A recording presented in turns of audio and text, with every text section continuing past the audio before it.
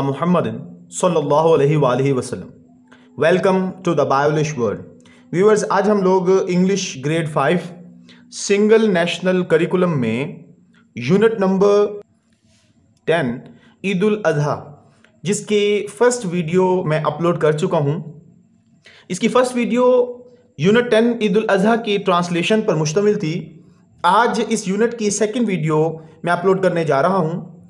इस वीडियो में दो पोर्शन होंगे। सबसे पहले यूनिट टेन की एक्सरसाइज और फिर उसके बाद रिव्यू थ्री एक्सरसाइज जो है, वो हम डिस्कस करेंगे। तो ये लेक्चर बहुत ही अहम है क्योंकि इसमें रिव्यू एक्सरसाइज है। रिव्यू एक्सरसाइज सबका तीन चैप्टर्स के ऊपर मुश्तमिल है। तो इस तरह ये रिवीजन भी हो जाएगी। मेरी आप लोगों से गुजारिश है कि इस यूनिट की ट्रांसलेशन वाली वीडियो जो है, उसे पहले मुलाहिजा फरमा लें, ताकि इस एक्सरसाइज को समझने से पहले ट्रांसलेशन जो है, उसका आना बहुत ज़रूरी होता है। तो उस वीडियो का लिंक मैं डिस्क्रिप्शन में ऐड कर दूँगा। अब बढ़ते हैं जी एक्सरसाइज की तरफ़।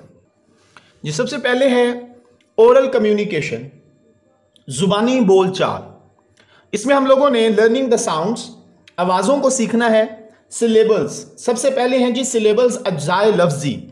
Read the given words with their syllable division दिए गए अल्फाज को जुज व लफ्जी की तकसीम के साथ पढ़ना है। उसके बाद हैं जी ये वर्ड्स और इनके हैं सिलेबल डिवीज़न इससे पहले रीड मी मुझे पढ़िए। A syllable is a unit of a word एक सिलेबल जो होता है वो एक लफ्ज की अकाई है। एक लफ्ज का हिस्सा होता है। Containing one vowel and usually one or more consonants जिसमें एक वॉल और एक से ज़्यादा हरूफ सही होते हैं कॉन्सोनेंट वर्ड्स होते हैं a word can have one or more syllables एक लफ्ज़ में एक से ज़्यादा अजाय लफ्जी हो सकते हैं। अब इसमें देखें, ये है जी होल्डिंग तो ये दो सिलेबल डिवीज़न है इसमें होल्ड और इन एक्साइटमेंट थ्री सिलेबल वर्ड है excitement conversation conversation four syllable division है. सेक्रीफाइस सेक्रीफाइस और रिमेंबर रीमेंबर अच्छा जी, ये तो पहले से ही यहाँ पर दी गई हैं. अब ज़रा मुलाहिजा कीजिए कि मिनिमम एक वोल का होना ज़रूरी था, हमने इसमें पढ़ा. तो आप इधर देखिए, ये सेकंड सिलेबल में आई है. अब इसमें देखें, यहाँ पर एक्स में ई है साइट में आई और ई है. मेंट में ई है। इसी तरीके से कौन में ओ है वर्ब में ई है, से में ए है शन में आई ओ है।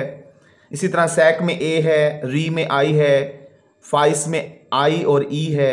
इसी तरह री में ई मैम में ई और ब में ई तो ये चीज़ हमने बेसिकली सीखनी है कि एक वर्ड में कई सिलेबल होते हैं। एक सिलेबल पे भी वर्ड बन सकता है। लेकिन एक सिलेबल में एक वॉल भी हो सकता है, ज़्यादा कॉन्सोनेंट्स भी होते हैं। अब नेक्स्ट देखिए read the given words and divide them into their syllables तो दिए गए अल्फाज को पढ़ें और उन्हें जुज्व लफ्जी में तकसीम करें। Also write their number of syllables और उनके जुज्व लफ्जी की तादाद भी लिखें। तो ये वर्ड्स हैं impatiently movement cattle fortnight thankful अब इसके सिलेबल डिवीज़न करनी है। और नंबर ऑफ़ सिलेबल्स भी बयान करने हैं।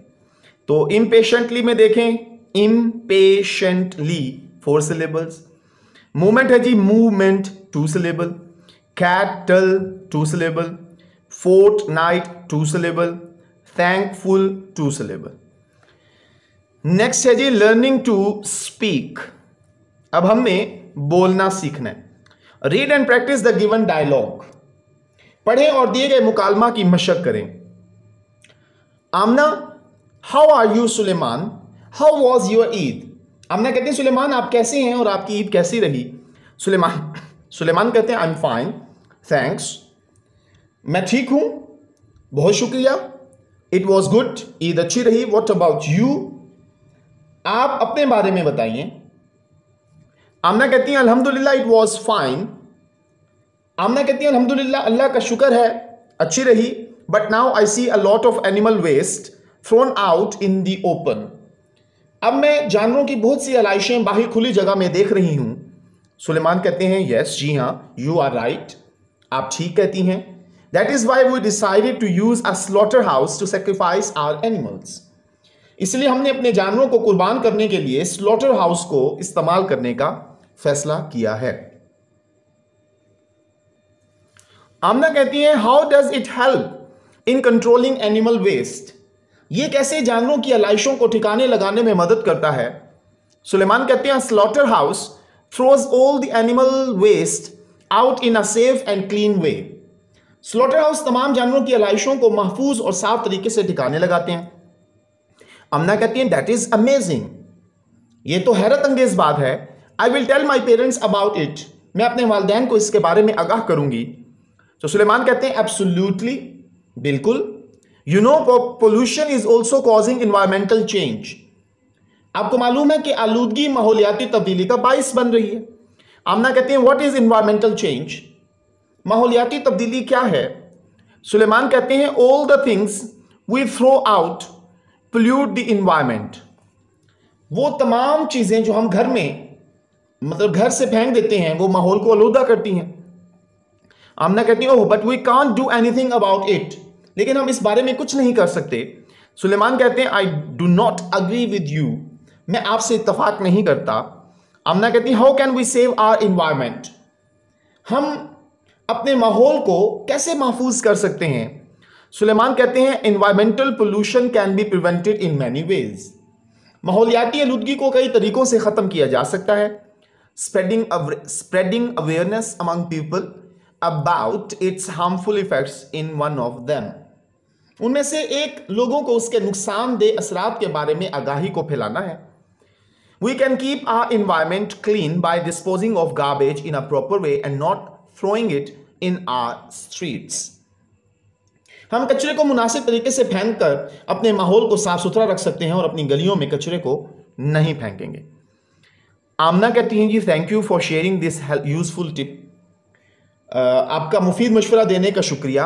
I will share it with my friends and family मैं अपने दोस्तों और ख़ानदान के अफराद के साथ ये शेयर करूँगी। सुलेमान कहते हैं यू आर वेलकम आपका खैर मुकदम अब है जी arrange a classroom discussion about how you celebrate your religious festivals अब कमरा जमात में एक मुबासे का इंतज़ाम किया जाए कि आप अपने मजहबी त्यौहार कैसे मनाते हैं। तो ये ख़ासकर इस कराम के लिए है कि ये एक अमली काम है और इसे फिर इस कराम आपकी क्लास में आपको अरेंज करके आपके बारे में आपके आपस में ग्रुप बनाकर डिस्कशन करेंगे मुबासा करेंगे कि किस तरीके से हम मज़हबी जो त्यौहार हैं, उसे आप कैसे मनाते हैं, हर कोई उसके बारे में अपनी राय देगा। फिर है जी रीडिंग एंड क्रिटिकल थिंकिंग पढ़ना और तनकीदी सोचना।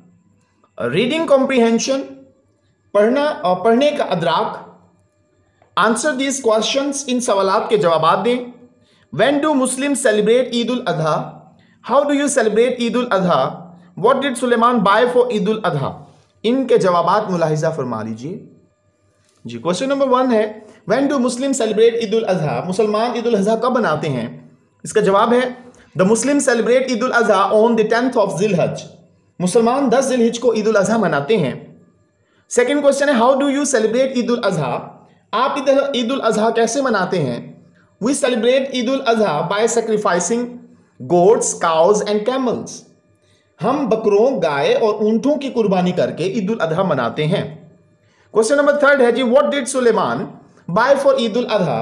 Suleman ने ईद उल अजहा पर क्या खरीदा? Suleman bought a white goat for Eid ul Azha. Suleman ने ईद उल अजहा पर सफ़ेद बकरा खरीदा। नेक्स्ट है जी read the given chart about how to keep our environment safe and clean दिए गए चार्ट को पढ़ें जो इस बारे में है कि अपने माहौल को हम कैसे महफूज और साफ़ सुथरा रख सकते हैं। तो सबसे पहले है जी इन्वायरमेंट फ्रेंडलीनेस माहौल दोस्त। अब हैं जी, यहाँ पर कुछ पॉइंट्स हैं, फिर हैं जी इंडिविजुअल्स रिस्पॉन्सिबिलिटीज मस्ट ये इनफरादी जिम्मेदारियाँ हैं जिसे ज़रूर करना चाहिए और अप्रिशिएटेड हैं जिसकी तारीफ़ करनी चाहिए। अब देखें जी कीप दी इन्वायरमेंट क्लीन माहौल को साफ़ सुथरा रखें।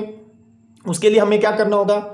थ्रो गार्बेज इन बिन्स कूड़ा के डब्बों में फेंकें। Pick up wrappers garbage from the places you visit जहाँ आप सैर के लिए जाएँ, वहाँ से रैपर्स या कूड़ा क्रिकेट उठा लें। Sharpen pencils in bins pencil का कचरा टोकरी में डालें। Put pencil shavings in bins if you see them throw around pencil का कचरा अगर टोकरी से बाहर पड़ा हो तो उसे टोकरी में डाल दें। कीप वॉल्स क्लीन दीवारों को साफ़ सुथरा रखें. Avoid writing or on unnecessary painting on the walls दीवारों पर लिखना या गैर ज़रूरी तस्वीर बनाने से परहेज करें. कीप स्ट्रीट्स क्लीन गलियों को साफ़ रखें. Avoid throwing waste in streets गलियों में कूड़ा फेंकने से गुरेज करें. अब नेक्स्ट है जी सेविंग वाटर पानी की बचत करना.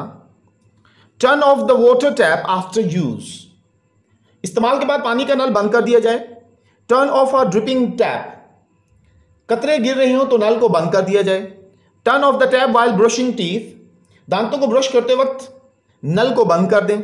Turn off a running unattending tap ball नल से पानी जाया हो रहा हो तो उसे बंद कर दें। Use bucket water for a bath नहाने के लिए पानी की बाल्टी इस्तेमाल करें। Use water while taking a bath according to your need नहाते हुए पानी ज़रूरत के मुताबिक इस्तेमाल करें। नेक्स्ट है जी सेव इलेक्ट्रिसिटी बिजली बचाइए। Turn off lights and fans when you leave a room जब आप कमरे को खाली छोड़ें तो उसकी बत्तियाँ और पंखे बंद कर दें। Turn off lights and fan when you leave a room जब आप कमरे को छोड़ें तो बत्तियाँ और पंखे बंद कर दें। टर्न ऑफ़ लाइट्स बत्तियाँ बुझा दें। Turn off street lights in the morning सुबह गली की बत्तियाँ बंद कर दें। अनप्लग अनयूज इलेक्ट्रॉनिक्स गैर इस्तेमाल शुदा बिजली के शिया के प्लग बाहर निकाल दें। Try to unplug unused electronic devices such as TV mobile charger refrigerator ETC TV mobile charger refrigerator वगैरह जब इस्तेमाल ना हो रहे हो तो कोशिश करें सॉकेट से बाहर निकाल दें। अब नेक्स्ट है सेविंग ट्रीज दरख्तों की हिफाजत करें। प्लांट न्यू ट्रीज नए पौधे लगाएँ। Plant a tree in your school और नियर योर होम अपने स्कूल या घर के नज़दीक एक पौधा लगाएँ।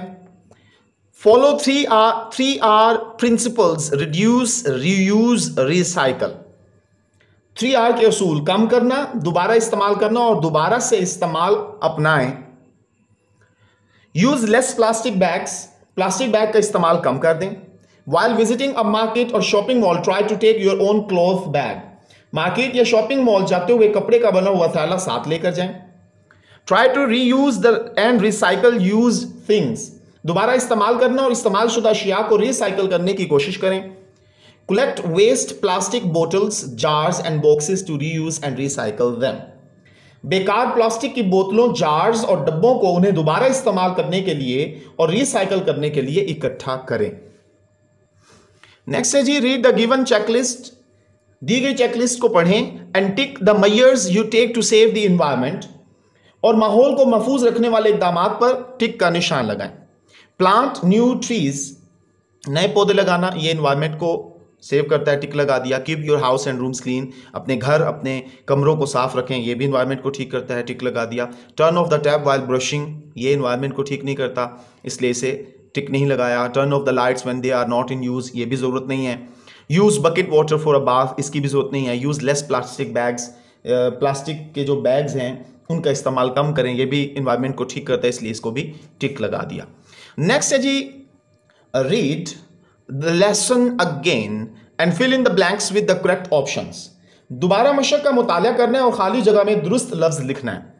Suleman saw some banner about a dash cattle sale मवेशियों की फरोख्त के बारे में उसने बैनर देखे। तो ये मैंने टिक कर दिया। Suleman wanted to buy a dash for Eid वो गोड चाहता था जी, यहाँ पर बकरा लिख दिया। They are going to buy their animal for sacrifice on dash Sunday वो इतवार के दिन जानवर खरीदने के लिए, कुर्बानी के जानवर खरीदने के लिए गए। Prophet dash had a dream about sacrificing his son तो हज़रत इब्राहिम अलैहिस्सलाम थे, जिन्होंने अपने बेटे को कुर्बान करने के बारे में ख्वाब देखा था। नेक्स्ट है जी एनालिटिकल रीडिंग एनालिटिकल रीडिंग तजियाती मुतालिया, या तजियाती पढ़ाई। रीड द स्टोरी केयरफुली कहानी को गौर से पढ़ें. Compare your Eid day with Suleman अपने ईद के दिन को, सुलेमान के ईद के दिन के साथ मुवजना करें. Note down the differences and similarities मुख्तलिफ़ और एक जैसी चीज़ें लिखें. तो सुलेमान ईद एक्टिविटीज़ और my Eid activities. Suleman Eid activities ये हैं कि Suleman goes to the cattle market with his father to buy animals for Eid ul Adha Suleman जो हैं वो मवेशी मंडी जाते हैं अपने वालिद साहब के साथ ईद उल के लिए जानवर खरीदने की खातिर। He wants to buy white goat वो सफ़ेद बकरा खरीदना चाहते हैं।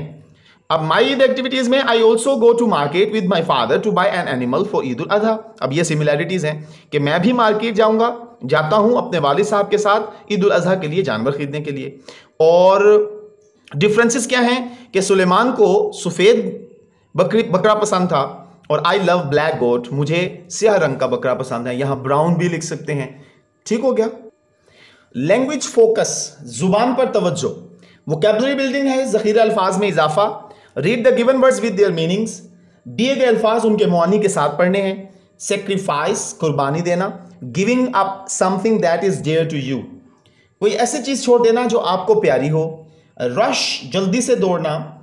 रन हरिडली जल्दी से भागना। मेमोरीज याद करना या यादें लर्न बाय हार्ट जुबानी याद करना। इंक्वायर दरियाफ्त करना आस्क अ क्वेश्चन सवाल पूछना। सिनोनिम्स एंड एंटोनिम्स मुतरादिफ और मुतजाद। Write synonyms antonyms of the following words दर्जिल अल्फाज के मुतरादिफ और मुतजाद लिखें। एक्साइटेड बाय रिमेंबर ग्रेट तो वो ज़रा मुलाहिजा कीजिए। जी वर्ड एक्साइटेड इसका सिनोनिम है थ्रिल्ड पुरजोश, और एंटोनिम्स हैं डिप्रेस्ड उदास। बाय ख़रीदना सिनोनिम्स है परचेज ख़रीदना सेल्फ रोक करना। वर्ड है रिमेंबर याद करना। रिकॉल सिनोनिम है याद करना। फोगेट भूल जाना एंटोनिम्स ग्रेट वर्ड है, अजीम साइजेबल ठीक है जी, बहुत बड़ा और लिटल छोटा। अब हैं जी होमोनिम्स होमोनिम्स कहते हैं अल्फाज बोलने में एक जैसे मायने रखते हों। Write the meanings of the given homonyms in your notebook तो अपनी कॉपी में दिए गए हम हिजा अल्फाज के मुआने लिखें। तो वॉच घड़ी वॉच देखना फ्लाई मक्खी फ्लाई उड़ना बैट बल्ला बैट जुमगादड़ फाइन अच्छा ठीक फाइन जुर्माना पाक पार्क जो पार्क होती है जहाँ पर बच्चे खेलते हैं, और पार्क है जी गाड़ी खड़ी करना। अच्छा जी नेक्स्ट है जी होमोफोन्स होमोफोन्स हम आवाज़ अल्फाज fill in the blanks with the correct homophones दुरुस्त हम आवाज़ अल्फाज के साथ खाली जगह पुर करें please get a dash of paper ये पीस का मतलब होता है अमन इस पीस का मतलब होता है टुकड़ा पीस ऑफ़ पेपर कागज़ का टुकड़ा मेहरबानी करके कागज़ का टुकड़ा लीजिए they can't dash for you इस वेट का मतलब होता है वज़न इसका होता है इंतज़ार वो आपका इंतज़ार नहीं कर सकते they are going to dash buy a goat अब इसका मतलब होता है टी डबल ओ टू भी टी ओ टू ये गोइंग टू मतलब प्रेपोजिशन के तौर पर they are going to buy a goat यहाँ पर इंफिनिट के तौर पर आया है। मतलब ये पहला वर्ब था, ये दूसरे वर्ब से पहले टू इस्तेमाल होता है। तो my uncle has a good dash to tell तो इस टेल का मतलब कहानी है, इसका मतलब है बताना। तो ये टेल आएगा। यहाँ पर एक गलती हो गई है, यहाँ पर होना चाहिए था T A I L tail दुम। तो फिर ये सेम हम आवाज़ अल्फाज बनते ये तो टेल और टेल है, ये गलती हो गई है।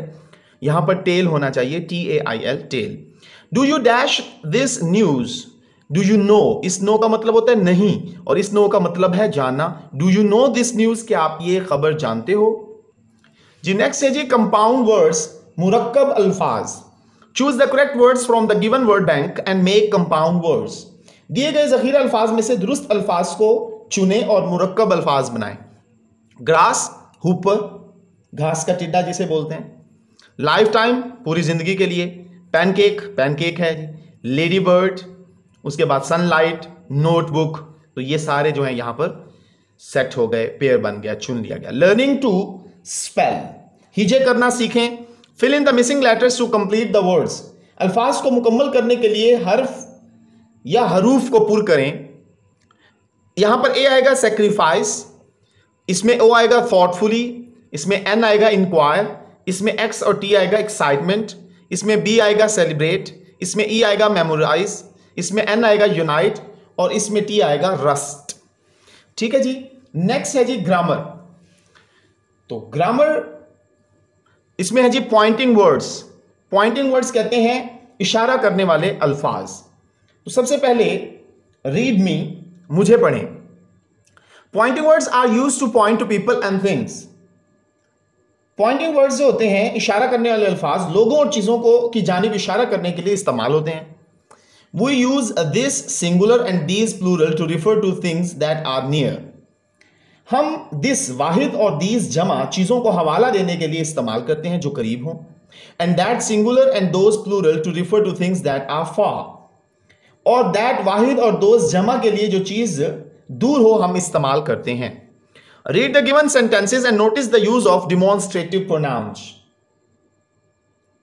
दिए गए फिक्रात को पढ़ें और असबाती इसमें जमायर के साथ इसका इस्तेमाल, इसके इस्तेमाल पर गौर करें। I love to eat apples and mangoes मुझे आम और सेब खाना पसंद है। These are my favourite these ये है जी demonstrative pronouns these are my favourite ये मेरे पसंदीदा I planted tomatoes and potatoes मैंने आलू और टमाटर उगाए हैं। These are easy to plant ये बहुत ही आसानी से उगाए जा सकते हैं। We bought a new chair from the market हमने नई कुर्सी मार्केट से खरीदी। दिस इज़ वेरी कंफर्टेबल अब ये एक है सिंगुलर है। ये बहुत ही आरामदेह है। I lost my book last year मैंने अपनी किताब गुजश्ता साल गुम गुम हो गई मेरी। That was about the history of Pakistan वो पाकिस्तान की तारीख के मुतालिक थी। ठीक है जी? उसके बाद है जी next fill in the blanks with the correct demonstrative pronouns अब हमने दुरुस्त अस्वाती इसमें जमाइश से खाली जगह पुर करनी है। You will have to use your pen आपको अपना कलम इस्तेमाल करना होगा। दैट इज़ माइन ये वो मेरा है। Let me introduce you Ali this is Suleman और मुझे मुतारुफ करवाने दो अली। दिस इज़ सुलेमान ये सुलेमान है। I have five new dresses मेरे पाँच नए लिबास हैं। Look these are very beautiful देखो, ये बहुत ही खूबसूरत हैं। आई मेड सैंडविचेस येस्टरडे मैंने गुजश्ता कल सैंडविचेस बनाए। दोज वर डिलीशियस वो बड़े मज़ेदार थे। Use of should and should not should और शुड नॉट का इस्तेमाल है। Read the given sentences of should and should not should और शुड नॉट के दिए गए फिक्रात को पढ़ें। अब इसमें देखें रीड मी है। मुझे पढ़ें। We use should to talk about an obligation और for things that are important for people to do हम शुद्ध को फ़र्ज़ या चीज़ों के मुतालिक बात करने के लिए इस्तेमाल करते हैं जो लोगों के लिए बहुत अहम हो। We use should not to advise against doing something because it is bad or wrong to do so. हम शुड नॉट को कुछ करने के खिलाफ नसीहत करने के लिए इस्तेमाल करते हैं क्योंकि ऐसा करना बुरा होता है या गलत होता है। अब देखिए we should always follow traffic rules हमें चाहिए कि हम हमेशा ट्रैफ़िक कवानीन की पाबंदी करें या हमें हमेशा ट्रैफ़िक कवानीन की पाबंदी करनी चाहिए। You should speak the truth आपको हमेशा सच बोलना चाहिए। We should always respect our elders हमें हमेशा अपने बड़ों का अदब करना चाहिए। You should not throw garbage in the street आपको गली में कूड़ा नहीं फेंकना चाहिए। You should not go outside at night आपको रात को बाहर नहीं जाना चाहिए। Write two sentences using should and should not each in your notebook अपनी कॉपी में शुड और शुड नॉट का इस्तेमाल करते हुए हर एक के दो फिक्रात लिखें। वो फिक्रात मुलाहिजा कीजिए। We should obey the traffic rules हमें ट्रैफ़िक के कवानीन की पैरवी करनी चाहिए। We should not make a noise while reading in the classroom classroom में पढ़ते हुए हमें शोर नहीं करना चाहिए। Students should not waste their time तलबा तलबात को अपना वक्त ज़ाया नहीं करना चाहिए। You should be kind to everyone आपको हर एक के साथ, हमदर्दी के साथ, मेहरबानी के साथ पेश आना चाहिए। जी नेक्स्ट है जी यूज़ ऑफ़ अपोस्ट्रॉफी अलामत इजाफत का इस्तेमाल। रीड द गिवन सेंटेंसेस दिए गए जुमलों को पढ़ें and notice the use of the apostrophe और अलामत इजाफत के इस्तेमाल पर गौर करें। उससे पहले है जी रीड मी मुझे पढ़ें। वी यूज़ द अपोस्ट्रॉफी इस अलामत का इस्तेमाल करते हैं to mark the omitted letters in contraction इख्तसारात में हम हजफ शुदा हरूफ की निशानदही करने के लिए अलामत इजाफत का इस्तेमाल करते हैं। When we combine two words जब हम दो लफ्ज़ों को जोड़ देते हैं वी ओमिट सम लेटर्स तो हम कुछ हरूफ को हजफ कर देते हैं। जैसे ये देखें वी विल को हमने विल कर दिया। दे डिड नॉट को दे डिडेंट कर दिया। We'll go home early they didn't waste their money he is not को इजेंट कर दिया। He isn't going home with us I am को आई एम के बजाय आई एम कर दिया। I am happy to see you तो इसमें देखें W I double L W I हिजफ कर दिया है। इसमें ओ हजफ कर दिया गया, इसमें भी ओ हजफ कर दिया गया, इसमें ए हजफ कर दिया। दे आर इसमें भी ए हजफ कर दिया। They are celebrating the Eid festival अच्छा जी make contraction of the following words using the apostrophe correctly in your notebook दिए गए फिक्रात को पढ़ें। अपनी कॉपी में अलामत इजाफत को इस्तेमाल करते हुए दर्जिल अल्फाज के इख्तसारात बनाएँ। तो ये है जी कुड नॉट हमने इसका इख्तसार बनाना है। I have should not you will और डज नॉट ये ज़रा मुलाहिजा कीजिए। ये देखें जी। Couldn't I've shouldn't you will और डजेंट तो इसमें मैंने कुड नॉट में से ओ ख़त्म कर दिया। हैव का एच ए ख़त्म कर दिया है। इसमें ओ ख़त्म कर दिया गया है। इसमें डब्ल्यू आई ख़त्म हो गया और इसमें ओ ख़त्म हो गया। जी, अब है जी एडवर्ब ऑफ़ फ्रीक्वेंसी तादाद तकरार के मुतालिक अफ़ाल। Read the given sentences and notice the use of adverbs of frequency दिए गए फिक्रात को पढ़ें और तादाद तकरार के मुतालिक अफ़ाल के इस्तेमाल पर गौर करें। रीड मी लेकिन उससे पहले हम पढ़ते हैं, जी मुझे पढ़िए। Adverbs of frequency tell us how often और फ्रीक्वेंटली समथिंग हैपन्स तादाद, तकरार के मुतालिक अफ़ाल हमें बताते हैं कि कोई चीज़ कितनी बार वाक़ हुई है। ठीक है जी? She always sacrifice a camel on Eid ul Azha वो हमेशा अब यहाँ पर ऑलवेज जो है वो हमें बताता है कि हमेशा। क्या करते हैं जी? ईद उल अजहा पर ऊँट की कुर्बानी हमेशा करते हैं। दे ऑफन अक्सर go to the park for jogging वो जॉगिंग के लिए अक्सर पार्क में जाते हैं। ही रेयरली कभी कभार makes a mistake in the test वो कभी कभार टेस्ट में गलती करता है। तो आप देखें कि ऑलवेज ओफन और रेयरली जो है, ये बता रहे हैं कि कितनी बार ये चीज़ हो रही है। फिर नेक्स्ट है जी they sometimes play cricket on the weekend sometimes बाजोकात फिर है जी I never forget my keys in my room I never forget my keys in my room तो इसमें नेवर है, कभी भी नहीं। तो अब देखें जी read the given paragraph and underline the adverbs of frequency in it दिए गए पैराग्राफ को पढ़ें और एडवर्ब ऑफ़ फ्रीक्वेंसी के नीचे लाइन लगाएँ। तो इसमें है जी always I always get up early in the morning मैं हमेशा सुबह सवेरे उठता हूँ। आई ऑफन ऑफन जो है इसे अंडरलाइन करना है। I often go for morning walk मैं हमेशा सुबह की सैर के लिए, अक्सर सुबह की सैर के लिए जाता हूँ विद माई फादर अपने वालिद साहब के साथ। समटाइम्स बाज़ we go to the nearby park हम करीबी पार्क में जाते हैं। आफ्टर दैट उसके बाद आई टेक माई ब्रेकफास्ट मैं नाश्ता करता हूँ and get ready for school और स्कूल के लिए तैयार हो जाता हूँ। I often take sandwiches for breakfast में अक्सर नाश्ते के लिए सैंडविचेस लेता हूँ। My school bus usually arrives at seven thirty AM मेरी स्कूल की बस अमूमन साढ़े सात बजे आ जाती है। I am never late for school मैं स्कूल के लिए कभी भी देर से नहीं जाता या मुझे स्कूल के लिए कभी भी ताखिर नहीं होती। तो इसमें always often sometimes often usually और नेवर जो हैं, ये क्या है जी? एडवर्ब ऑफ़ फ्रीक्वेंसी हैं। अब नेक्स्ट है जी राइटिंग लिखना। लर्निंग टू राइट हमने लिखने के लिए सीखना है। Suleman and his sister made a dessert for an Eid party Suleman और उसकी बहन ने ईद पार्टी के लिए मीठा तैयार किया है। Let us read what recipe they followed for making chocolate banana pops तो आइए पढ़ते हैं कि उन्होंने चॉकलेट बनाना पॉप्स बनाने के लिए क्या तरकीब इस्तेमाल की। थिंग्स वी नीड अशिया जो हमें दरकार हैं अ लार्ज बनाना एक बड़ा केला अ बार ऑफ़ चॉकलेट एक चॉकलेट का टुकड़ा।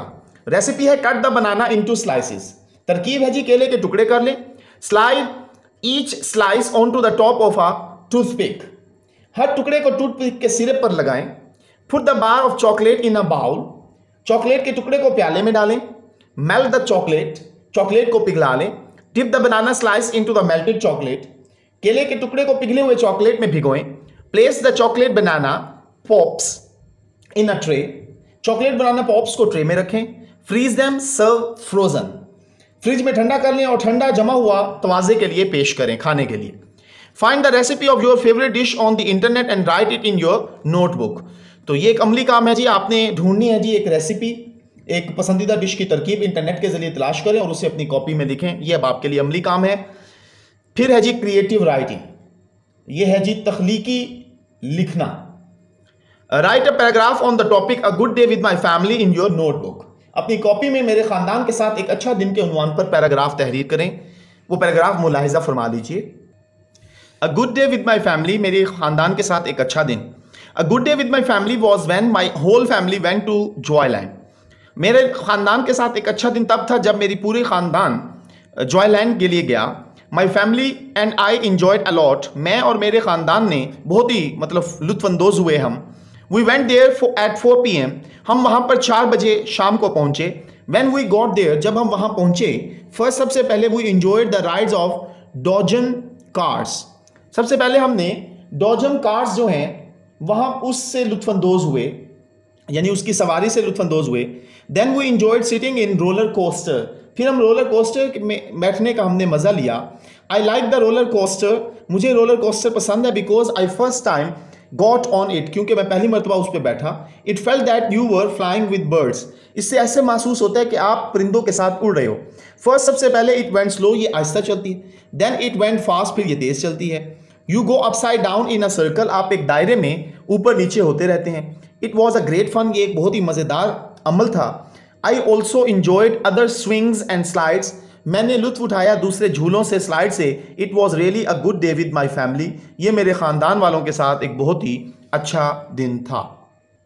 तो यहाँ तक यूनिट टेन की एक्सरसाइज का अख्ताम होता है और जैसे मैंने वीडियो के आगाज़ में बताया था कि हम रिव्यू थ्री एक्सरसाइज भी करेंगे तो अब रिव्यू थ्री एक्सरसाइज है। इस पर भी तवज्जो दीजिए। सबसे पहले है जी ओरल कम्युनिकेशन जबानी बोल चाल लर्निंग द साउंड्स आवाज़ों का सीखना रीड द गिवन सेंटेंसेस दिए गए फिक्रात को पढ़ें circle the words with long vowel sounds and underline the words with short vowel sounds तो लंबी वॉल आवाज़ों वाले अल्फाज के गिर दायरा लगाएँ और मुख्तलि वॉल आवाज़ों वाले अल्फाज को अंडरलाइन करें। तो ये देखें my mother baked a red velvet cake इसमें बेक्ड लंबी वॉल है, इसलिए इसे सर्कल किया रेड स्मॉल वॉल है केक लंबी वॉल है, इसलिए सर्कल कर दिया। She had drawn some trees and a sun in her drawing notebook तो ड्रॉन ट्रीज ड्राइंग और नोटबुक ये लंबी वॉल वाले हैं और सन छोटी वॉल वाला है, इसलिए इसे अंडरलाइन किया। अली हैड हैड लंबी वॉल नहीं है, इसलिए इसे अंडरलाइन किया। रिटर्न अ नोट नोट लंबी वॉल है, इसलिए इसे सर्कल किया है। That he could not participate in the school function तो स्कूल जो है, ये लंबी वॉल है, इसलिए इसे सर्कल किया। He bought a new tub tub small vowel है, इसलिए इसे अंडरलाइन किया एंड वाटर ट्यूब ट्यूब लंबी वॉल है, इसलिए इसे सर्कल किया फ्रॉम द शॉप छोटी वॉल है, इसलिए इसे अंडरलाइन किया। They made a plan made लंबी वॉल है, इसलिए सर्कल किया प्लान छोटी वॉल है, इसे अंडरलाइन किया टू ट्रेवल बाय एरोप्लेन इसे सर्कल किया write two words with the given E D sounds तो डी पर खत्म होता है प्लेड अलाउड ईड पे खत्म होता है जी प्रिंटेड एक्टेड और टी पे खत्म होता है हॉप लॉफ तो यहाँ पर डी है, लेकिन हमने प्रोनाउंस टी करना है। हॉप लॉफ ठीक है जी? रीडिंग एंड क्रिटिकल थिंकिंग पढ़ना है जी और तनकीदी सोचना है। रीड कॉम्प्रिहेंशन पढ़ने का अदराक। Look at the given pictures carefully दी गई तस्वीर को गौर से देखें। Now write the story elements of a mouse and the lion अब चूहा और शेर की कहानी के अनासर को तहरीर करें। तो ये देखें, ये एक शेर है जी, ये शेर है, ये और ये फोर अब हमने क्या करना है जी, ये देखें।